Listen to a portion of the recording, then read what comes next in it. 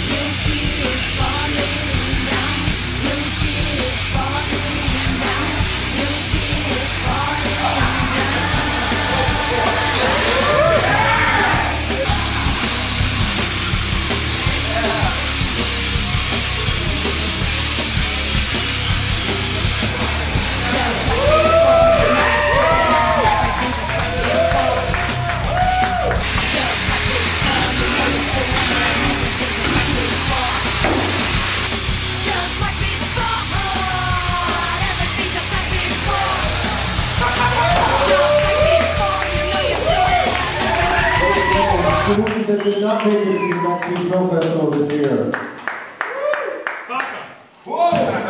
Thank you, Dr. Thank you, Ilya. Thank you, everybody, for coming out. Thank you, John.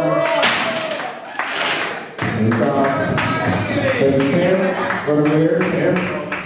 Meaning to, uh, this film will not, your film will not be returned.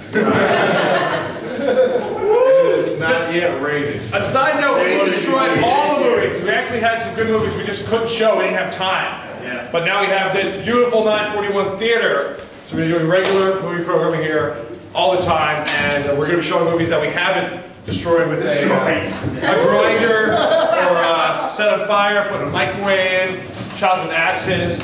We've uh, been doing this for seven years, every time we uh, make a mess with the uh, projected screen. This is for my dead film homies. Oh yeah? Yeah. Now let us bow down and give praise to the gods of bad A long, films. sad story of You guys film. wanna take one? Kevin Murphy. In 1983 when they said, This is a "Oh, we got CBI." CDs, you can throw them down the street and they'll still. Oh yeah, we can't, can't take a grinder to it though. we, uh, when we started doing the festival, it was entirely VHS. Yeah. Wow. That's what's up with film. Wait a second, that's my movie. Who